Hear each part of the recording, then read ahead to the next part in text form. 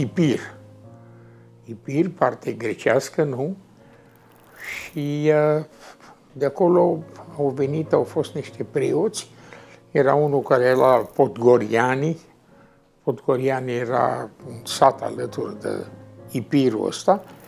Și, pe urmă, au sosit în România la 1700, nu mai știu exact când, ca preoți. Și atunci au dat o seamă întreagă de intelectual, pe Silvestru Filiti, pe doctorul, pe mitropoliții, Dositei, pe episcopul Buzăului, pe Constandie. Au rămas niște urme, respectiv titoria Bisericii Sfântul Dumitru după strada fostă Carol, nu mai știu cum se cheamă strada acum, care este titorie Filiti și Constantie Filiti este îngropat chiar acolo în biserică.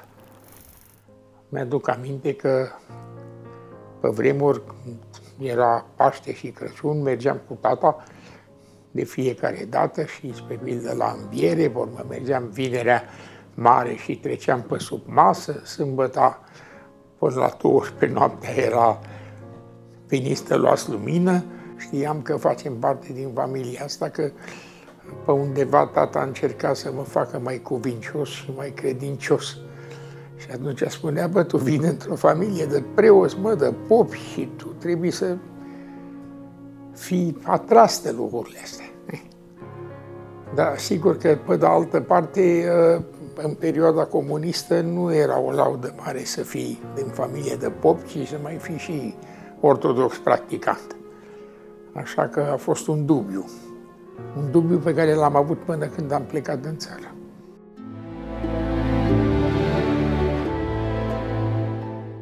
Știu că Silvestru Filiti era un doctor de renume și datorită lui, pentru că știu că acareturile lui și, mă rog, toată averea se petrecea acolo în jurul străzii Carol și a fost o străduță mică care venea din calea Victorii și care s-a chemat Filiti.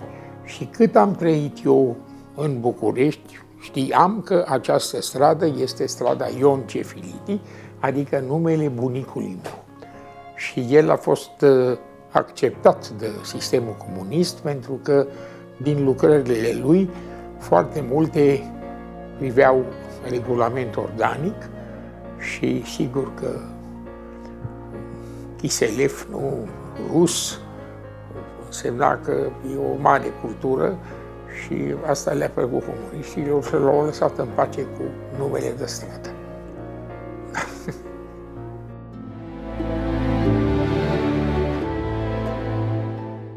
Constantin Filiti, colonelul, care era șeful familiei, dacă vreți, la 1850, a avut o seamă întreagă de copii, care sunt toți frații bunicului meu.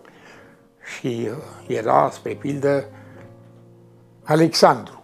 Alexandru Filiti, care este, era ofițer și a făcut șarja de la Robănești. Și mergeam și îi făceam vizită câtă vreme trăia pe Bulevardul Dacia și el și nevasta lui, tant Medi, erau foarte drăguți și poveștile erau cu șarja de la Robănești, în care el s-a strigat și cu mine asta și când a ajuns în vârf de doi, nu mai era practic nimeni, că îi se cerase nenorociția de nemți, îi se cerase de practic pe toți.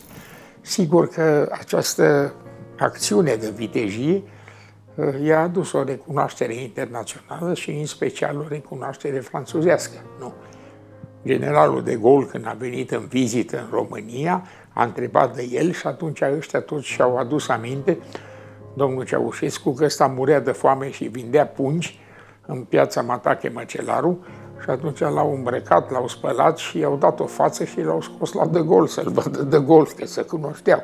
Mie îmi povestea, mă duceam acolo și eram încântat pentru că îmi dădea bomboane foarte bune și povestea despre șarja de la Robăniști. Era un om adorabil și vesel și foarte, foarte simpatic și plin de viață.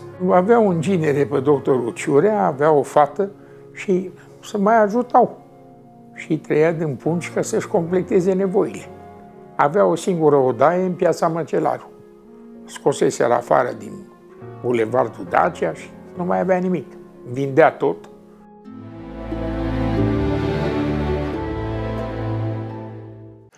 A mai fost Nicolae. Nicolae era tatăl lui Ela Filiti și tatăl lui Constantin Filiti. Constantin Filiti, născut practic în același an cu regele Carol al II-lea, având soră pe Ela Filiti, care a avut un, un flirt platonic mare amor de 16 ani cu Ela.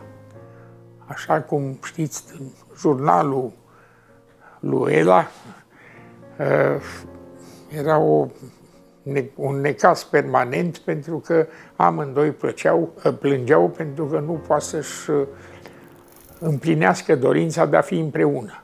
Pentru că Carol al II-lea nu avea voie să se însoare cu o româncă, așa cum pățise și taică su Ferdinand, nu?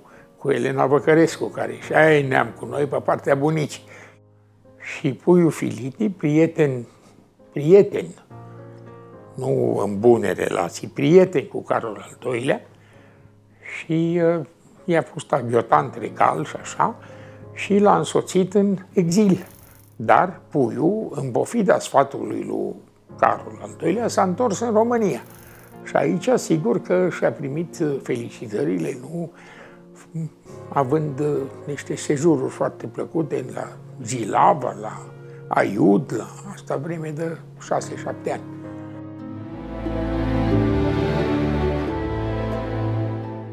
Au avut o perioadă strălucită în care era atașat delegație și era și în Italia și țiu minte că povesteau de fastul din Italia și de tot ce se întâmpla acolo și așa.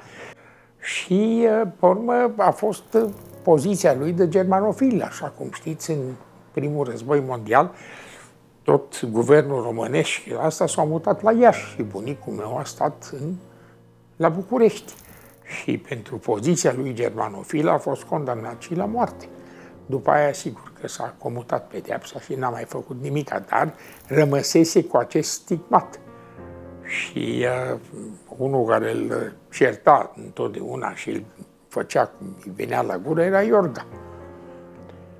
Și ți minte că făceam un has nemaipomenit pentru că bunicul avea has, că mi-a spus că Iorga a scris o carte despre cele trei crișuri și bunicul i-a răspuns, tot înscris, că era de fapt cartea cele trei pișuri. da, asta e o chestie adevărată, așa că... Da.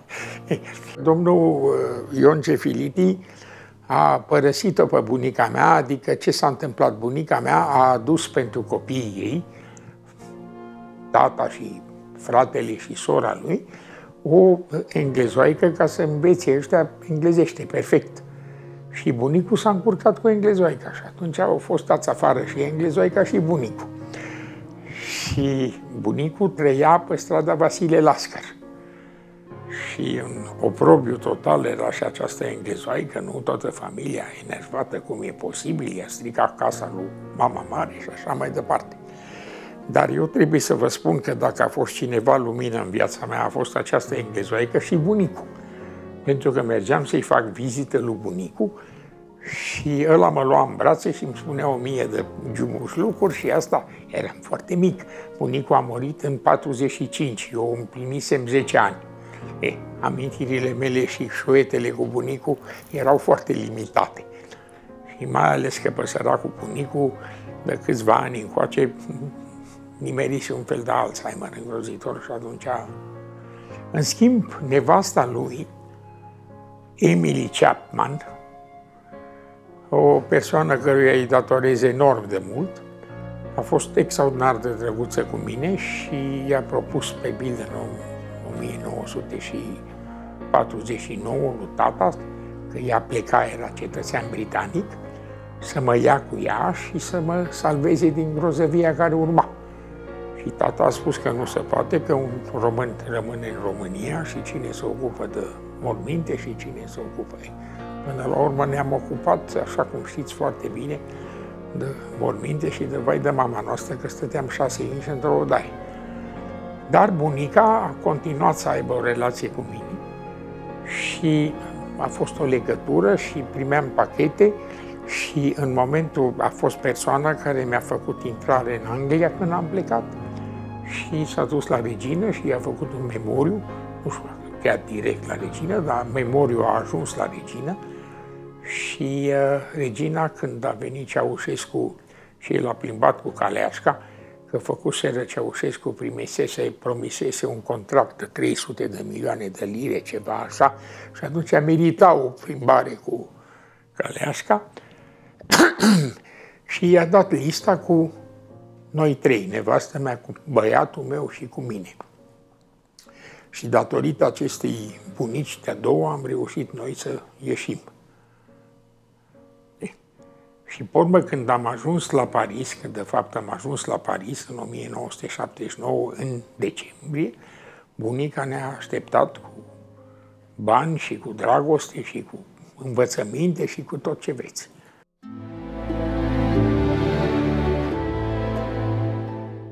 Eu am fost crescut uh, bine în casă, 30 de ani am trăit lângă bunica mea, care mi-a vorbit tot timpul pe franțuzești. Bunica cu care, lângă care am trăit până când s-a prăpădit, adică, mă rog, am stat în casă până în 1968, chema Alexandra Ghita și avea o mamă Văcărescu.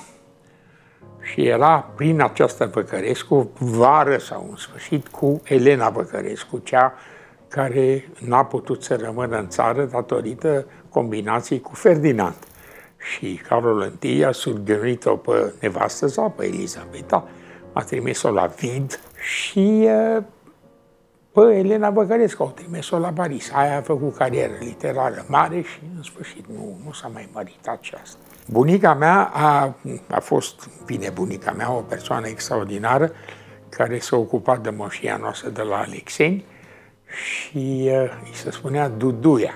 Acum faceți, nu faceți legătură cu Duduia lui Carol al doilea, și îi se spunea Duduia. Și atunci dimineața la 3, la 4, încăleca pe cal și mergea pe câmp să vadă ce se întâmplă și pornea tractoarele și pornea mașina de treierat și așa mai departe. Era o persoană extraordinară și avea o cameră în căsuța în care se mutaseră și am să vă spun de ce se mutaseră, unde era cancelaria și atunci acolo se făceau toate socotelile, toate astea. Bunica mea era o persoană care vorbea o grămadă de limbi.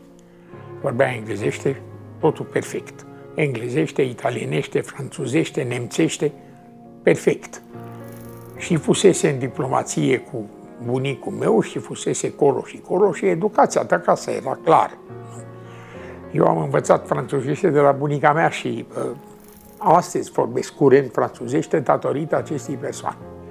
Pormă, era o persoană de o mare strictețe.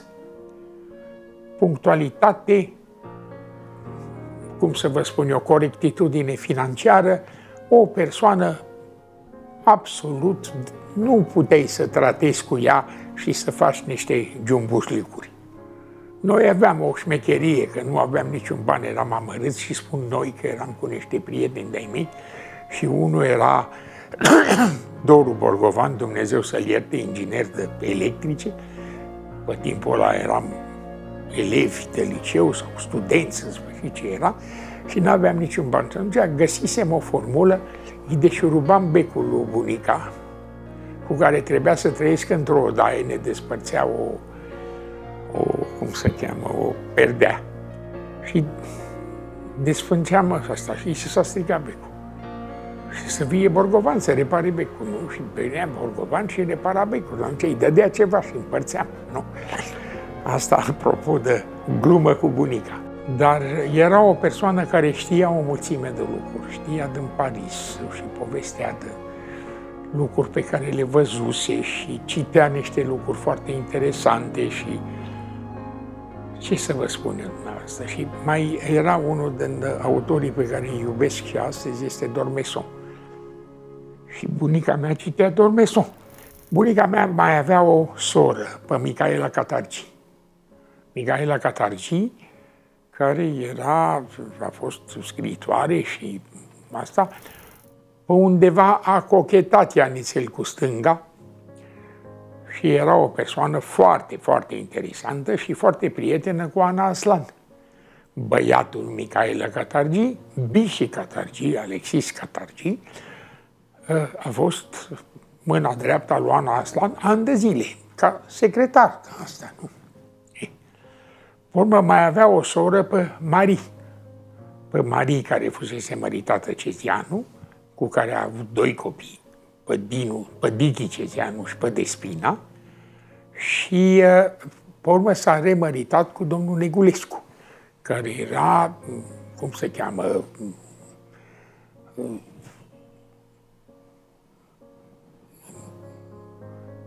avocat la Curtea Internațională de la Haga, era judecător. Și pe chestia asta a ieșit la pensie și o pensie grozavă. Și ăștia au părăsit România, au plecat. Și avea o casă foarte frumoasă pe Alexandra Sahia, astăzi se cheamă Calderon, și casa a fost multă vreme ambasada Palestinei. O casă superbă, mai este și astăzi.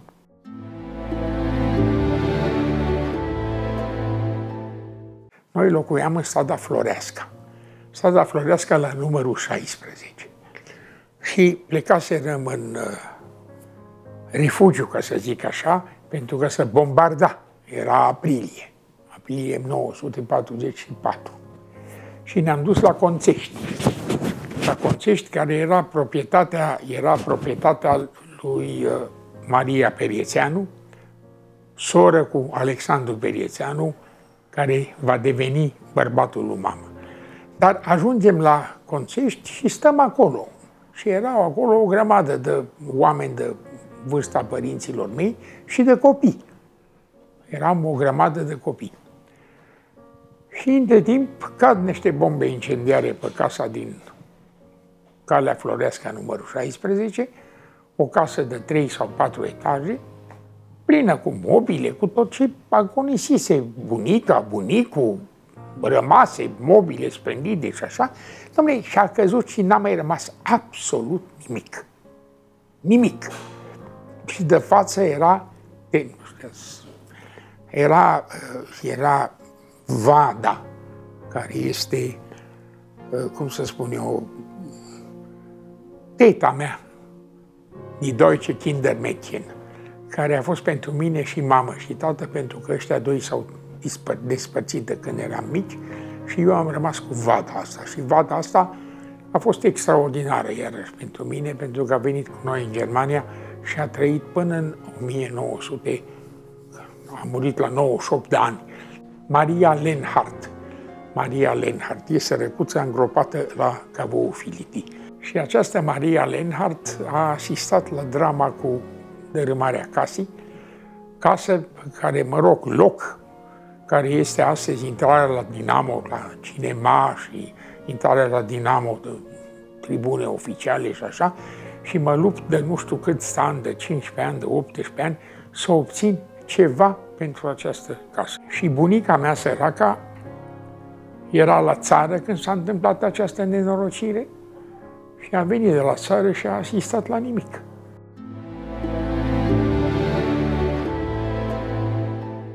Mergeam, cum să nu, am fost de foarte multe ori și fiind bolnav de scarlatina, am făcut clasa întâia primară la școala de la Alexei. Și acolo era foarte mare prietenie și, mă rog, stimă și așa, Popa Andrei. Popa Andrei care se întâlnea cu bunic mea și care avea o vorbă. Zice, a, zice, se luminează ploaie, Duduie, știi, se luminea ploaie, venea ploaie și asta și era Popa Andrei și atunci mergeam și la Popa Andrei. Casa noastră, casa familiei, era pe Ialomița. Și a venit o viitură extraordinară și s-a dus casa naibii cu totul. Și ca să nu se mai repete această chestie, s-au mutat pe undeva, să zicem, 10 km sau 5 km de Ialomița, la așa numitul Redea. Redea, care era o instalație, era un teren înconjurat de salcâmbi, erau 25 de hectare și acolo era o căsuță în care locuiam noi, am locuit și eu acolo mereu, mergeam în vacanță și mai erau instalații. Bunica mea a avut niște cai trăpași extraordinari care concurau, costau milioane de, de, de lire, de nu știu cum. Și caii ăștia au fost foarte apreciați de ruși. Când au venit rușii, intraseră în România și au venit odată, a venit asta cu o grămadă de căruțe, pentru că ei mergeau foarte modern și aveau căruțe și asta, au înhămat caii și au plecat cu caii bunica mea să moară și să, să îmbie. Și în sfârșit, cu foarte multe proptele, a reușit după două săptămâni să dea de urma cailor. Îi mâncaseră ruși. Așa că aveau și gusturi bune. A avut un antrenor care se chema Traian Marcu și care mi-a propus să-mi dea toate colecția de medalii pe care le câștigase bunica. Eu ce să fac cu medaliile? Că nu erau, erau niște amintiri. Dar țiu minte foarte bine caii și grajdurile și aveam în uh, interiorul acestei plantații de salcâmi, era așa numitul padoc. Și în padocul ăsta se antrenau caii pe niște piste speciale cu sulchiuri.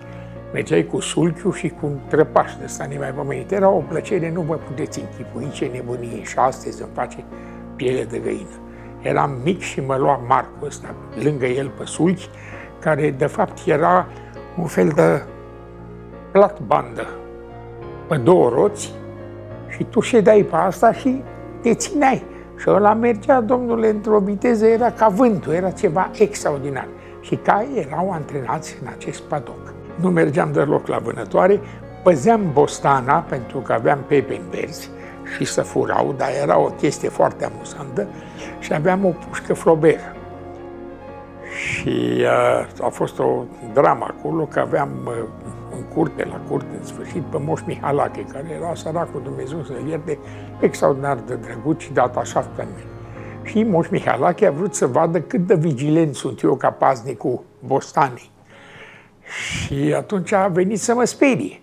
Și eu n-am știut că e Moș Mihalache, că el bătea și făcea și zic, mă, dacă mai scoți o vorbă, zic, te împușcă. Și am tras și l-am nimerit în mână, a ieșit un scandal nemaipomenit. Unchiul meu mi-a luat pușca și a aruncat-o într-un puț. Știu și astăzi în care puț, dar n-a să mai pot face nimic și asta a fost uh, finalul. Venind de, de pe front, fratele tati, Barbu Finiti Major, împușcat la cotul Donului, stat un an de zile în spital, nu mai avea niciun rost, nu avea să câștige nimic, să însurase cu Ana Maria Pașcanu, și bunica le-a dat soluția, ocupați-vă de Alexei și aveți și ce să mâncați și ce să faceți. Foarte bine. Și stăteau acolo. Și erau foarte mulțumiți. Eu mergeam în vacanță și făceam uh, niște curse pentru că de la liziera de salcâmbi până ajungeam în curte erau vreo 80-90 de metri și ne luam la întrecere unchiul ăsta al meu care era un slăbănog nenorocit care fugea de, de asta și eu de-abia mă țineam după el. Asta o, o treabă. Și fine del primo tempo. Eu n-am fost un elev bun și în tot cazul cu toate părțile de marxism și de nu aveam foarte multă legătură, pentru că eram întotdeauna marcat de dorința lui Emily Filiti să plec din țară. Și mă cheamă tata într-o zi și îmi spune, zice, uite, aici este un articol despre, nu știu ce, teatru, nu știu, Stalinovski sau cum îi chemau pe aia care se ocupau de teatru real, de nu știu cum, și tu, zice, să înveți articolul ăsta și dacă știi, plecăm mâine dimineață la Alexei.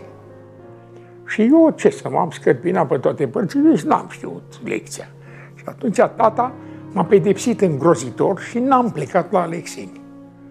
Dar cum are Dumnezeu de grijă de păcătoși, în noaptea respectivă l-a ridicat pe unchiul meu și pe mătușă. Și dacă eu eram prostovană care învățam eu drăcia aia de articol, de arestat și pe noi. Așa că am scăpat și mereu i-am spus lui tata, vezi tu, nu e bine întotdeauna să înveți. Stai, domnule, la un loc, domnule, să vedem ce se întâmplă. Și ăsta se avea cu Barbu Filiti, a ales, uh, au venit. Aveam niște cărți foarte frumoase în casa acolo și le-au făcut toate mușuroi, probabil că aflaseră de Hitler, de nu știu cine, și le-a dat foc în curte la toate cărțile astea. Și lui unchiul meu i-au dat voie să ia, nu știu, niște izmene, o cămașă, o pijama și lui mătușa la fel și au ajuns la Câmpul Lung Mușchel. Ajungând la Câmpul Lung Mușcel, unde erau mai mulți în domiciliu forțat, pentru care am să-i numesc pe familia Noica, care eram toți peste gârlă, peste gârlă, că era peste gârlă la Flămânda și biserica și așa, și era în casa lui Saver Rădulescu, care fusese înalt demnitar acolo, era familia Noica, Iacovache Noica, și acolo era loc de adunare generală. Și nenorocitul ăsta de Barbu Filiti cu Nușa, ce să facă? Nu știa să facă nimic, el era militar de carieră. Și atunci bunica mea s-a angajat profesoară de franceză și menajeră la familia Jugureanu, unde a stat ani de zile și s-a ocupat și de copilul lor, de Costi Jugureanu, anticomuniști total și fără discuție, adică nu a existat nicio secundă să zicem, bă, bine au făcut. Pentru că, vedeți dumneavoastră cum a fost chestia, au venit și au luat tot. Erau niște instalații acolo la rede asta, cum v-am spus, erau instalațiile grajdurile cu lumină electrică, cu apă curentă. Erau instalații în care făcea brânză, că erau oi și așa mai departe. Adică, eu nu spun erau primitive, dar erau. Bun. În 1993, deci să schimbase ceva în România, am închiriat o mașină și l-am luat pe tata și ne-am dus, hai să vedem ce a rămas din Alexeni. Nu, 1949, 1993, nu. Domnule, și am ajuns acolo și imposibil să ne, să ne orientăm, să știm unde este, ce este. Am întrebat, ne-am uitat în fine și prin amintirea mea de copil mi-am realizat că vis-a-vis la 2 km era o gară și auzeam trenul cum venea și cum pleca și fluiera. Și asta mi-a făcut să îmi localizez locul în care eram. Și era o plantație asta, fusese semănat porumb și porumbul era înalt și tot umblând de colo-colo și dând cu picioarele, am găsit niște fundații. Asta a fost tot ce s-a ales în acest Alexei. Și stăteam și mă gândeam, mă, când m-ai scos pe mine de acolo, e foarte bine. Dar ce ai făcut cu ele? Le-ai distrus. Și asta este ceva îngrozitor. Folosește, Domnule, pentru copiii dumitale, folosește, dă-le, Domnule, de lucru, fă-le grajdurile alea, fă ceva. Distrus tot. Amprentă comunistă.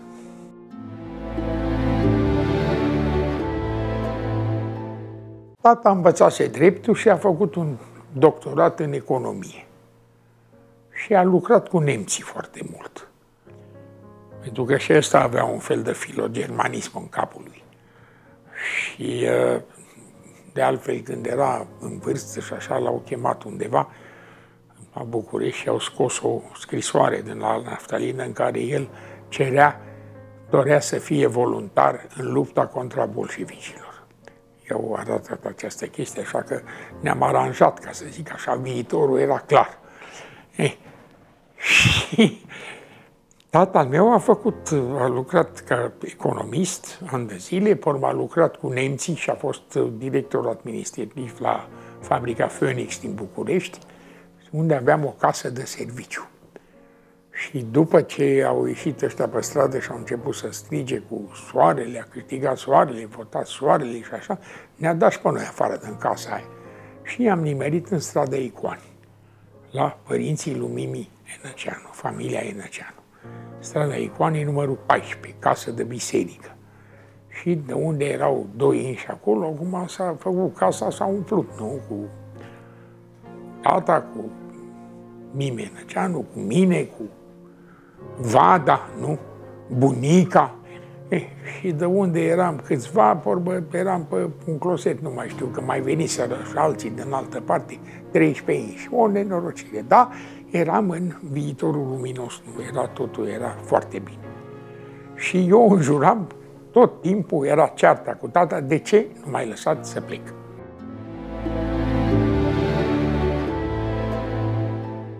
Știți, și acest Jockey Club este o chestie foarte interesantă pentru că este un prilej de conversație cu oameni de să zicem, pe undeva de aceeași nivel. Tata e născut în 911, deci vă dați dumneavoastră seama că el, când a venit urgia peste noi, în 45-46, el avea 34 de ani, nu? Și el era, de fapt, președinte la tenis club român, unde se juca rugby și acolo eram ăștia la alții care toți jucam rugby. Asta a fost la noi în familie. Toată lumea juca rugby. Tata a jucat rugby, uh, unchiul meu a jucat rugby, eu am jucat rugby, băiatul meu a jucat rugby în Germania. Și tata era cu tenis clubul și cu asta. Și jockey clubul, pentru mine era o noțiune foarte îndepărtată, jockey clubul. Eu m-am trezit cu Jockey Club ca realitate acum, după 1990, și tata s-a zbătut foarte tare și, datorită și numelui, a fost ales vicepreședinte, care este o poziție sub poziția regelui, care este din capul locului pe poziție de președinte.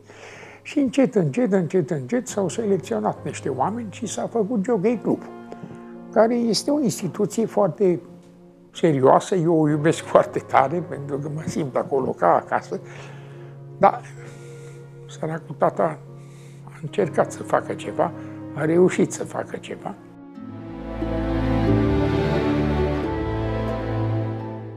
Țiu minte că aveam în Icoanii 14, unde locuiam, eram vecini în aceeași corp de casă, dar despărțiți de niște pereți și, mă rog, carți, așa, era familia preotului Pistol. Preotul Pistol era un parohul bisericii care avea o nevastă, Madame Pistol, și doi copii. Pe Cornelica, domnișoară, și pe Dănuț, Pistol. Ăștia eram cam toți de o vârstă. Și era o agitație nemaipomentă, discutam politică și speram ca în 1946, la alegeri, să câștige ăștia ai noștri, nu? Și uh, când au venit rezultatele, rezultatele au fost așa cum le știm, pe dos. Au câștigat ei alții, nu ai noștri, ei alții. Și mă țiu minte plângând în ușa scării cu Madame Pistol acolo, care mă consola și zicea, lasă mamă, nu îți mai fă griji, că vin americanii și hai să vezi tu cum se aranjează totul. Abdicarea regelui a fost și aia o lovitură, o plesneală, dar pe undeva ne așteptam, adică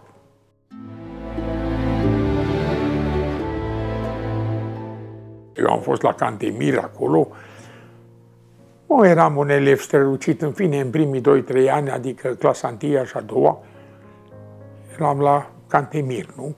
E, clasa 3 s-a transformat în clasa 7 Și uh, a fost o, o treabă foarte ce să vă spun dumneavoastră, și reacție de copil tâmpit.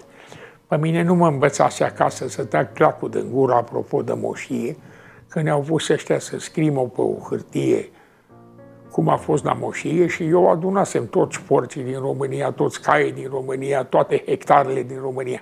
La 10 ani ce te duce capul? Și această hârtie m-a urmărit până la plecare, cred că și astăzi. Și în clasa șaptea și atunci venea profesorul Zagăr, Dumnezeu să-l ierte, de matematică. Și prima întrebare dădea bună ziua, că toți ăia râdeau, ce vreți să vedeți un fiu de moștier? Finiti, treci la tablă. Eh, sigur că reacția mea, ce să vă spun dumneavoastră, nu mai de învățat logaritmii lui domnul Zagăr nu mi-ar da, nu? Eram într-o bătălie permanentă. Și uh, când eram în clasa nouă, domnul Oizie Șafran, care era directorul liceului, a chemat-o pe Cona Mimienăceanu, care era vorbitorul familiei pentru mine, și i-a spus că trebuie să mă să, să mut uh, liceul pentru că, zice, ăsta, zice, face politică. Cum să facă politică? Tovarășe Șafran la 15 ani. Doamne, vă rog, îl luați de aici. Și atunci am mai schimbat de două ori câte un liceu, am ajuns la Matei Basarab și până am terminat, mulțumesc lui Dumnezeu, cu bacalaureat, cu tot la Sava. La Spiro Haret, da, așa că mă întreba cine a inventat mașina de vapori. Și eu i-am spus, what? Și a zis, ai nota 1, treci la loc, Polzunov. Și a doua zi m-a scos din nou la tablă. Filiti zice, cine a inventat mașina de vapor? Zic, what? Treci la treabă și mi-a mai dat un unu. Au fost niște scene de-astea drăguțe așa, care foarte convingătoare pentru mine. Cu ea, tata în închisoare de două ori, că și la săracu a fost de două ori în închisoare. Așa, ce să... Și atunci am încercat să dau uh, examen de admitere la Facultatea de Cinematografie și Teatru la secția operatorie. Nimeni acea nu actriță în vogă, foarte prietenă cu domnul Ott, Wilfried Ott, care a fost pe timpul ăla un operator, un tip foarte bine și care a confirmat că am făcut niște note extraordinare și așa și vorba a treia zi că n-am intrat. Păi cum n-am intrat, domnule, că am avut niște note. Păi zice, ați spus că ați avut moșie? Păi nu m-a întrebat nimeni, nu.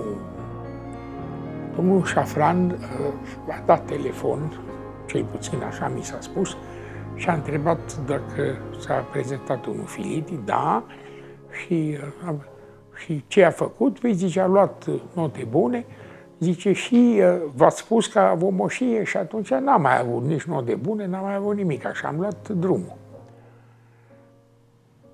Am încercat, pe urmă, să dau uh, la limba franceză la Cluj, unde profesorul Roșca m-a primit foarte bine, recomandat de Sandu Rosetti, care era tot ăsta prieten de familie, dacă vrei și eu să joc la știința Cluj rugby. Și vorbim franțuzește curent și așa, am avut iarăși niște note bune și iarăși a fost morșia aia nenorocită care s-a pus în noi. Și atunci am ieșit, am aterizat muncitor necalificat la sala sporturilor din Constanța, unde am fost muncitor necalificat. La ipsoserie, la dulgherie, îmi dădeam cu ciocanul peste dește și acolo am învățat că de ce e un cui strâm, zice, ca să vadă ce prost îl bate și fierar betonist și așa mai departe. Și omul care m-a susținut acolo era inginerul Vernescu, Gheorghe Vernescu, extraordinar de bine, a sfârșit și el an până închisori și pe urmă, în sfârșit, cu mare împinsături și așa, am intrat la școala tehnică de arhitectură și am făcut trei ani de zile și această școală tehnică de arhitectură m-a făcut tehnician. Între timp m-am amorezat de o, o colegă foarte frumoasă care mi-a spus, mă mărit cu tine numai dacă dai la facultate. Păi cum să dau eu, bă, la facultate? Cine mă ține? Nu, fii la București și lucrezi, eu îți găsesc serviciu și seara te duci la facultate, la cursurile seara. Și m-am pus să învăț și matematică și am avut un noroc extraordinar și am intrat în facultate.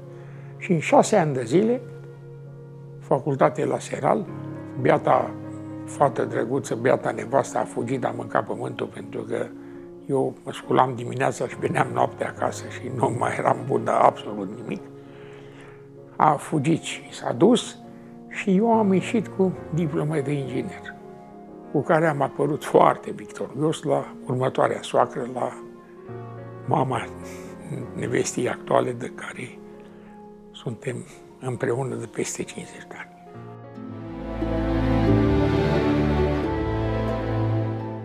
Am fost la Talcioc cu biată mama care murea de foame pentru că bărbatul ei, domnul Sandu Periețeanu, ăla a scăpat de închisoare și s-a transformat în normator. Erau niște oameni foarte bogați care au avut moșie la Beceni și la Licoi. Pe timpul ăla, ca normator cu leafă, cu doi copii acasă și cu o nevastă, vă dați dumneavoastră seama că... Și atunci dispăreau covoarele, dispăreau argintăria, dispăreau. Apropo de argintărie, mi-aduc aminte că bunica mea, când s-a dat cazul că toate tacămurile de argint să fie brotate la bancă, s-a dus și le-a dat acolo și l-a îndoia furculițele și le arunca și îndoia furculițele. Mă, de ce ai dat, măi, să poate? Și le-a dat și pe alea.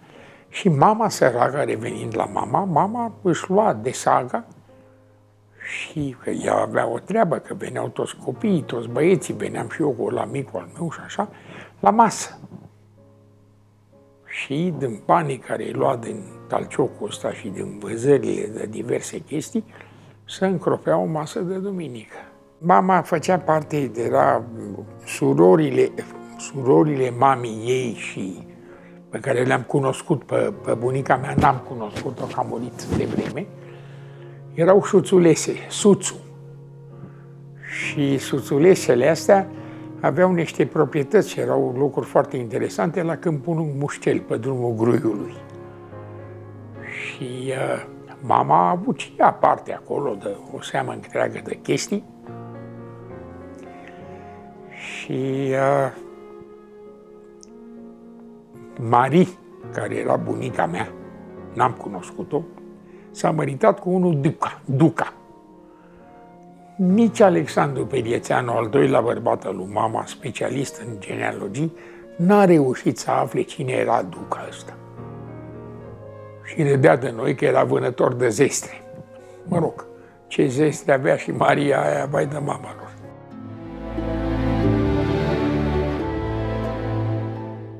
Un om adorabil, un om drăguț, vesel nemaipomenit, bunătatea pământului, dispus să împartă tot ce avea cu toată lumea. Extraordinar de bine și de drăguț. Și muncitor și, mă rog, să ducea pleca pe șantiere. În momentul în care am ajuns muncitor necalificat la Constanța, că de fapt pe mâna lui s-a ajuns, el era normator la șantierul care făcea uh, consolidarea malurilor, pentru că era un fenomen, malurile plecau la plimbare în Constanța și atunci s-au făcut niște forări și s-au făcut niște, uh, s-au băgat niște ancore și în sfârșit acolo să consolida unde că pleacă în continuare malurile și așa. Și el era normator și m-a primit în odaie la el și m-a dus la acest Gigă Vernescu unde am fost eu un muncitor necalificat. Era un tip extraordinar, Sandu Pirețeanu. A fost o chestie foarte bună, pentru că întâi și întâi că nu aveam bani de cârciumi, pe urmă, relațiile noastre nu puteau fi controlate de părinți și atunci părinții au organizat niște sâmbete dansante, ceaiuri, unde erau, nu știu, trei amărâte de sandvișuri, dar era dansul și bucuria și plăcerea de a dansa și de a flirta, nu erau flirturi astea grozave, de platonice, sigur că da.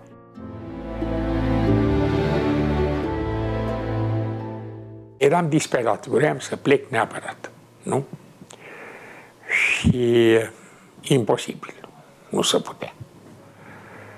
Și au fost foarte drăguți și mi-au propus să colaborăm, nu eu am acceptat să colaborez cu mare plăcere și atunci am făcut o schiță cu uh, niște pereți murați, cu uh, armarea pereților murați, cu cum să toarnă betonul. Bun, gata, colaborăm. Și vorba au început să mă întrebe de șeful de șantier, să dau un raport despre șeful de șantier cu care eu mai ne luam la gât. Și am spus, domnule, eu n-am m-am înțeles cu dumneavoastră despre persoane. Nu vă spun Macaraua cu tare, cum a lucrat astăzi și care sunt uh, uh, sprijinirile la respectivele cufraje și așa, dar ăla nu-l cunosc. Cum le dăm, domnule? Nu-ți dau, domnule. Și am ajuns la o chestie nemaipomenită, nu mai știu cum era, un amărât de ofițer, pentru că toți îi chemau la fel, cu S. Da, cine era ăla nu mai știu. Și uh, fiind uh, uh, ați văzut că există de la Ministerul de Externe interne către Calea Victoriei, urci, e o rampă. Și era în mașina mea, lângă mine, și aveam o dacie. Și ăsta mă știa foarte bine, domnul Șendrea, Șendrea Și zic, bă, Șendrea, dacă mai scoți un sunet cu raportul despre Grigoraș, zic, te bată te omor aici, că vor mă voi mă omorâți pe mine, asta e altceva. Și atunci m-a invitat la un randevu cu colonel Stan, iarăși. Și colonelul Stan, în sfârșit, într-o cameră de hotel, să mă convingă să colaborez și îmi spune, zice, dumneavoastră, ce din categoria noastră socială, zice, vie frică, zice, să colaborați cu noi. Și eu l-am corectat și am spus, zic, domnul colonel, că nu știu ce-i fi dumneata. Zic, nu e frică, e silă. Ieși afară. Și m-au lăsat în pace. Și atunci am făcut cererea și i-am scris lui Ceaușescu o scrisoare în care i-am povestit ce se întâmplă cu mine, ce a pățit tata, ce am pățit eu, blocarea sistematică de a pleca din țară, blocarea urmărit și așa mai departe. Și că apelez la înaltul lui umanism să-mi dea doie, voie să plec cu soția și băiatul, căruia nu voiau să-i ofer aceeași destin ca al meu. Ne-au chemat la formularele mici, la formularele mari și am plecat. Așa că scrisoarea mea a fost cea care a declanșat hotărârea noastră, adică hotărârea clară să plecăm și care a declanșat în sfârșit, n-a mai fost eu secret, Pulichinel.